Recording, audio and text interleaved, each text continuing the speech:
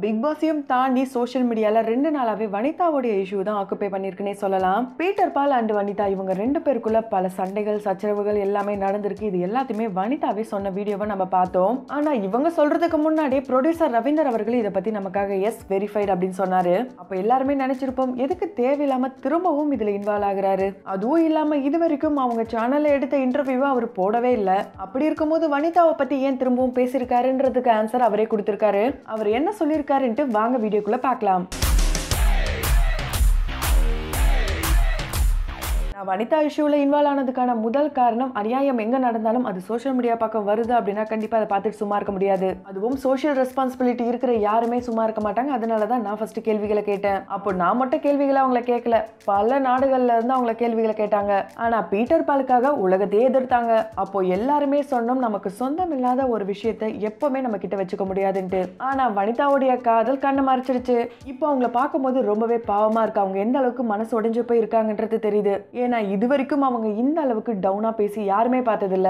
அந்த அளவுக்கு தான் பீட்டர் பால் அவங்கள பண்ணியிருக்காரு. நிறைய அடி வாங்கியிருக்காங்க நிறைய கஷ்டப்பட்டிருக்காங்க. ஹார்ட் ப்ரோக்கரில் இருக்காங்க இப்போ. அந்த வீடியோவில் அவங்க கொஞ்சம் தான் சொல்லியிருக்காங்க. ஆனால் அதையெல்லாம் தாண்டி அவங்களுக்கு என்ன நடந்தது? இப்போ பீட்டர் பால் என்ன பண்ணிட்டு இருக்காரு எல்லாமே எனக்கு தெரியும். இந்த உண்மையை தான் அப்போ நான் வெளி உலகத்துக்கு காட்டணும்னு நினச்சி அவங்கள இன்டர்வியூ எடுத்தேன். ஆனால் நீங்கள் எல்லாரும் என்ன பண்ணீங்க? ஜஸ்ட் அந்த மூணு நிமிஷம் ப்ரோமோவை மட்டும் பார்த்துட்டு வனிதாவும் நீயும் கூட்டு சேர்ந்துட்டீங்களா? அப்போ நீங்கள் ரெண்டு பேரும் கூட்டு கலவாணி தானே? சினிமாக்காரங்க எல்லாருமே ஒன்று தானேயா நீங்களாம் திருந்த மாட்டீங்க கடைசியில் எங்கள் எல்லாருமே முட்டாளாக்கிட்டீங்களேன்ட்டு இப்படி என்னை பற்றி தப்பு தப்பாக விமர்சனங்களை கொடுத்தீங்க. அப்போ தான் நான் முடிவு பண்ணேன் எது உண்மைன்றத உங்களுக்கு நான் காட்டவே கூடாதுன்ட்டு. உங்கள் யார்கிட்டையுமே பொறுமை இல்லை. அந்த அம்மா என்கிட்ட இருபத்தஞ்சாயிரம் வாங்கிட்டு தான் என் சேனலுக்கே வந்தாங்க.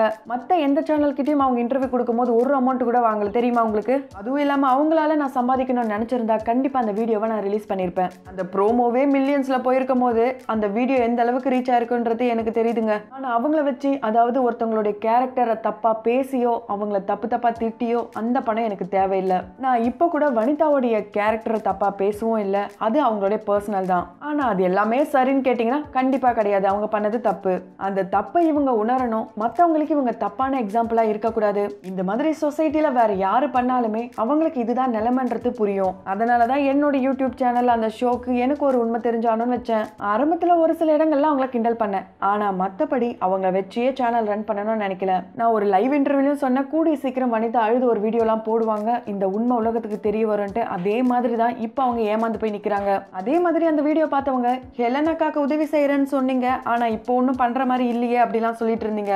ஆனால் நான் அப்போலேருந்து இப்போ வரைக்கும் அந்த பையனுடைய படிப்பு செலவாக இருக்கட்டும் அந்த குழந்தையுடைய படிப்பு செலவாக இருக்கட்டும் அந்த குடும்பத்துக்கான ஃபண்ட் இது எல்லாத்தையுமே நான் கொடுத்துட்டு தான் இருக்கேன். அது எல்லாத்துக்குமே காரணம் ஹெலன் என்ன அண்ணான்னு சொன்ன அந்த ஒரு வார்த்தை மட்டும்தான். நான் இப்போ மட்டும் அவங்களுக்கு உதவியாக இருக்க மாட்டேன். எப்பவுமே உதவியாக இருப்பேன் அப்படின்னு சொல்லியிருக்காரு ரவீந்தர் அவர்கள். இதை தொடர்ந்து பேசின அவரு வனிதாவை டிஸ்டர்ப் பண்ணாதீங்க. ஏன்னா அவங்க ரொம்ப நொந்து போயிருக்காங்க. அதுவும் இல்லாமல் நான் நேற்று போட்ட ஒரே ஒரு போஸ்ட் ஏதோ இன்டர்நேஷனல் நியூஸ் மாதிரி ரொம்ப ரொம்ப வைரலாக ஸ்ப்ரெட் ஆச்சு. இப்படி வனிதாவோட இஷ்யூக்கு நிறைய பேர் கியூரியாசிட்டியோட இருக்கீங்க. அந்த போஸ்ட்டை பார்த்துட்டு என்கிட்ட பல பேர் இன்டர்வியூ கேட்டாங்க. நான் கொடுக்க மாட்டேன்னு சொல்லிட்டேன். அவங்கள நினச்சி பணம் சம்பாதிக்கணும்னு நினச்சிருந்தா கண்டிப்பாக நான் இன்டர்வியூ கொடுத்துருக்கலாம். அதையும் நான் பண்ண மாட்டேன். இருந்தாலும் ஒவ்வொரு விஷயங்களும் மக்களுக்கு தெரியணும் இந்த உலகத்துக்கு தெரியணும்ன்ற ஒரே ஒரு காரணத்துக்காக மட்டும்தான் நான் எஃபியில் லைவ்ல வரேன். இப்போ கூட நான் அவங்கள பற்றி எதுக்காக இந்த வீடியோ போஸ்ட் பண்ணியிருக்கேன்னா அவங்க அந்த வீடியோவில் என்னை பற்றி ஒரு அஞ்சு நிமிஷம் பேசியிருக்காங்க. அந்த ஒரு கண்டென்ட்டோடைய கிளாரிஃபிகேஷனுக்காக தான் நான் இப்போ இது எல்லாத்தையுமே சொல்லிட்டு இருக்கேன். வனிதா ரொம்ப ரொம்ப பாவம். அவங்கள அப்படியே விடுங்க. இதுக்கப்புறம் யாரும் இதை பற்றி என்கிட்ட எந்த கேள்விகளும் கேட்காதீங்க. நான் எல்லா உண்மைகளும் அவங்க வாயால அவங்க சொல்லணும்னு நினைச்சோம் அதனால தான் அந்த இன்டர்வியூ வீடியோவை நான் ஷேர் பண்ணல அப்படின்னு சொல்லிட்டாரு ரவீந்தர்.